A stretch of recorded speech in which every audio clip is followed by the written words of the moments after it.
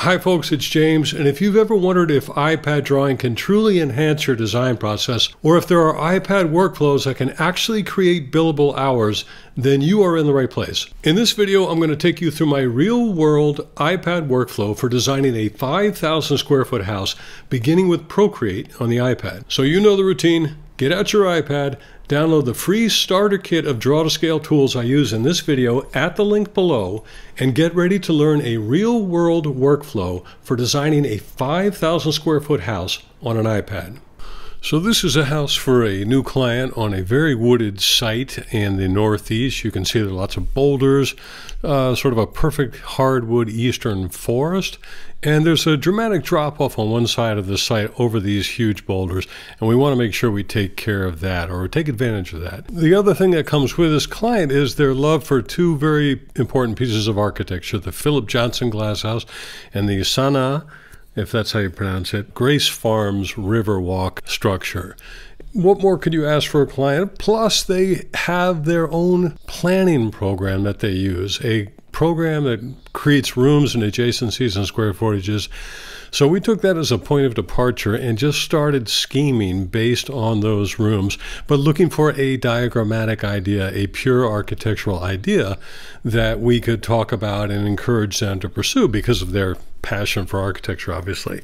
And so all of these sketches had to be translated from paper into Procreate, or rather, they didn't have to be, but I couldn't wait to do it because I love to use Procreate for this. And here's an example of using Procreate to tell the story of these different diagrams.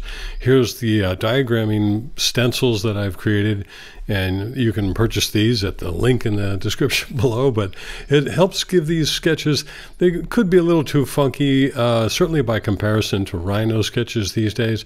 So these stencils give them a little bit more of a professional feeling. Here's the second scheme. We call this the scheme without halls where the rooms overlap and hopefully eliminate circulation. You actually move through rooms. So each of these rooms, the whole question becomes how do you convince the client? How do you uh, explain the story, get them excited about the difference between these schemes? What does this one have to offer versus the other? And Procreate is perfect for this because of that ability to adjust sizes right on the page and even import the images that I always begin with. Those sketches you saw from the paper just came right in but it also gives you a chance to clarify these schemes even more. And when you clarify these schemes for yourself, you obviously clarify them for your client, but you become a better architect. Your thinking gets more clear. This scheme we call Fred and Ginger. One and one equals three, or that kind of synergy represented by a couple that really complements each other. Uh, Fred, on the one case, is a fictitious person, but he's got a guitar studio and a tie dye studio, and uh, Ginger has interests in reading and studying and crafts, so we had to accommodate both of those. Now, we wanted to prepare site plans for each of these schemes as well. And again, this is as much about being accountable for ourselves as to the client. Again, using Procreate to quickly adjust the site plan that we inherited, the PDF site plan. We were able to take trees out that might have covered up the zone that we were interested in.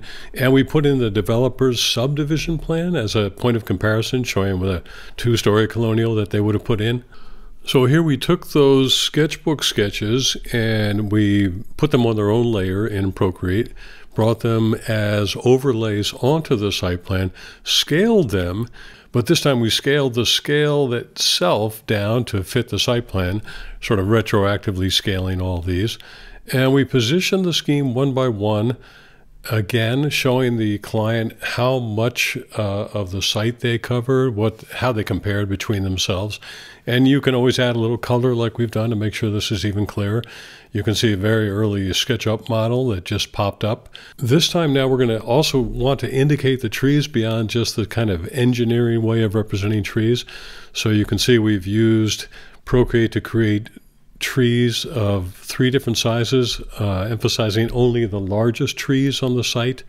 And that is now color coded. Here are the boulders being added, the sun, the north arrow, the, I should say, the path of the sun during the day. And again, these stencils all coming in handy, uh, stencils that are part of that uh, brush set of architectural symbols. And then finally, some hand lettering. This, I will admit, is the thing I'm most insecure about. I love uh, a beautifully made rhino diagram, the kind you see Bjarke Ingels making all the time, uh, with actual simple text on it. But in this case, handwriting is part of the funkiness, I, I, suppose you would say, or the artisanal quality of our presentations. So it is a little difficult to uh, do actual text in a very comfortable and easy way in Procreate. So I do defer to hand lettering. Now, given that sketch the homeowner provided us with, given that uh, plan that they created in that software designed especially for homeowners, we literally just took the rooms apart in Procreate and started to arrange them to match these schemes. So underlying each of these each of these diagrams, you would say, is the actual paper scheme that we drew up based on their whims so far.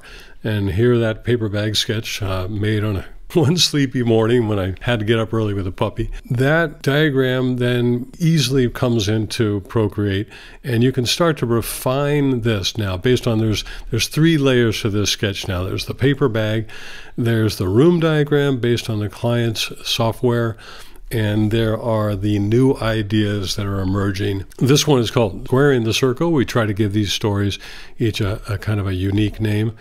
And you can see me working through here uh, can I really preserve this diagram? That becomes the question because architecture, I mean, recognizable architecture, that kind of gets you inspired. If we're honest, there has to be a certain amount of tension between the diagram, the pure diagram, and the exigencies or the demands of the client and how they're going to live day to day. Otherwise, you're never going to recognize the origin of that diagram in the building. You're just going to have a developer home with rooms laid out according to convenience, but there won't be a, a central idea that's organizing everything. So again, Procreate is is so perfect for this because you're not using reams of tracing paper. You're just using layers to go over one by one. And you could do the same thing with Morpholio, but remember you cannot you cannot manipulate an image that you bring into Morpholio. Whereas I was able to bring in those paper sketches and stretch them and make them more orthogonal uh, and manipulate that. So this is a real plus of Procreate. Plus, I find the interface to be so much more modern and understandable, I guess you would say. Now, here you're seeing another thing where I often switch to a different color, and this I think we're up to about four or five layers now. And I'm trying to, in, in keeping with that initial diagram of theirs, I'm trying to maintain these cross axes, these extended views through the building, through this central court. So we haven't been too literal about borrowing the ideas from either the glass house or the river or the Grace Farms Riverwalk, but we're trying to preserve obviously this circle in the square and to have this open void, this kind of Zen like meditative space. And here's the section. Uh, again, easy as pie in Procreate. You just start projecting these. Notice the sky is, is a very soft, almost an airbrush effect, using the literally using the round brush effect and creating this gradient. And I then imported these stencils. These stencils are also part of the um, architectural brushes or brush stencils that I offer. And they, it's a very convincing way to make a very quick elevation. So again, I'm back on the plan itself because of the ability to go back and forth when we probably don't have to see too much more of this. But notice how, what's your opinion? Do you think I'm keeping the diagram? Am I starting to lose the diagram? This is what keeps me up at night as an architect. Uh, can I maintain, can I make sure that the idea persists all the way through to the end in a form that is both um, clearly recognizable, I suppose you would say, by artists and other artists and architecture lovers? Uh, and also, can it accommodate their, their day-to-day needs in a very practical and sensitive way? So, uh, having done the section now, I'm looking at possible elevations. Like, how do you handle this this huge square? This is at least 85 feet on each side. You don't want it to look like a big box store, but it's going to look like something that uh, is not at all conventional, uh, especially in this neighborhood of other conventional houses. Now, they are uh, separated at some distance to their neighbors, and they do, uh, they have said they love architecture, and so we're pushing some architectural concepts early on we don't know if we're going to use these in our first meeting. More, this is more proof of concept to ourselves. But here are ideas about how this might be handled and still maybe look like residential architecture. You can see also I like to invert the part of the plan that I'm addressing in those elevations and have that placed above the blue sky of the elevation. This is our, our effort. Once we get there, we have to test the idea even further. And now I'm making sure that that square is to scale. It's on a 24 by 18 by 300 dpi document inside of Procreate, inside of my iPad. So all of the FF&E stencils that I've created will work to test these uh, test these different rooms. Can these rooms actually work and you want to be sure when you're doing hand design like this that your sketchy lines aren't throwing off the kind of subtle the, the kind of subtleties that you get when you're being more precise in SketchUp or in Rhino. So there's a plus and a minus to this kind of hand sketching. The great plus is that you're staying as fluid as possible. And clearly, you can see this going on. There's just train of thought going on. I, I'm thinking at the speed of the pencil, so to speak, and I'm not too worried about that precision because the minute I get into SketchUp, I know I'm going to kind of lock up and treat it as more of a video game, and the completionist in me is going to come out and make sure that all of these rooms and uh, all of the walls are the proper thickness in SketchUp, interior walls versus exterior walls. So SketchUp is going to basically slow down my creative process here once I switch over to it, but that is a good thing. I do want to be held accountable by actual dimensions and actual clearances and actual codes, so there'll be plenty of time for that. But for the moment, I stay in Procreate and keep working this out until I think I have a form that I can feel comfortable presenting to the client. And I'm getting close here, labeling the rooms, making sure they're the right size. Notice I'm using the scale very liberally as I move around. The scale is also part of this 300 DPI ecosystem. So everything I draw can be checked in Procreate and make sure it's at scale. And I'm even getting down to the point of being very granular here with door swings. Now, we're moving on to the so-called octagonal scheme now. You may recall from that early, early romp through the sketchbook, there were a number of these schemes, and one of them, the most pure diagram, was this octagonal scheme. So this is a different approach. This goes moves away from that idea of the purity of a landlocked outdoor atrium right in the middle of a house. This one says, no, we're going to have a more open courtyard and sort of let nature bleed in in its natural state.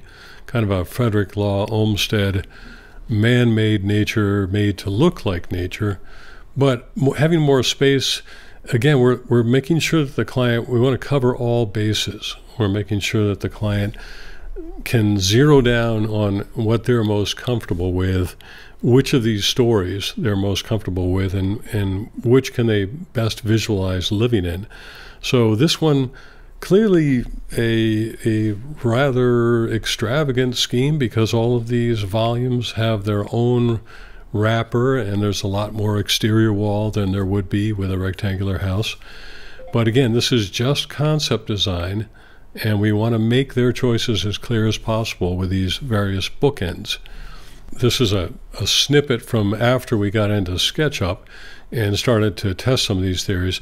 And here we're just trying to proactively figure out what a roof might look like for this three-dimensional volume. Because uh, again, we you saw the elevation and the the section earlier studying what they might be like from the inside. But Procreate is also wonderful in helping me copy and move over and then modify this basic diagram and coming up with these possible ways to put a roof over this unusual structure and this very large structure. Uh, you can see different ideas about spirals and U shapes. And the key here is going to be a repetitive roof structure that keeps the cost down. So each of these is trying to at least have be made of four quarters, you might say, and, and at the very least, each quarter will be the same so that there's an opportunity to pre manufacture these roofs and try to control costs that way. And again, Procreate makes it so easy to go back and forth between the plan and the roof plans that you start to layer over the top of it, and even start to study elevations. So, again, clearly the elevation is going to be the most challenging part of this how to uh, sell that to the client. And we also began working in models. So, shortly after laying things out, and you've got things going on several fronts. You've got models going, you've got the studies you're doing in Procreate, you've got the studies you're doing in SketchUp. It's all working towards that same goal of clarifying each of the stories in advance and so that you can make that simple presentation, that first meeting to the client, and get them more focused or get them thinking about all the issues ultimately they'll have to resolve. To learn more about any of the techniques or strategies you've seen in this video, tap on the links in the description below to learn all about the courses we offer full of real world examples of actual workflows, workflows that create billable hours, and plenty of real world examples showing the everyday tasks of a concept designer and how they can be improved using the iPad drawing. To see the next video in this series, click on this link here, and I will see you in the next video.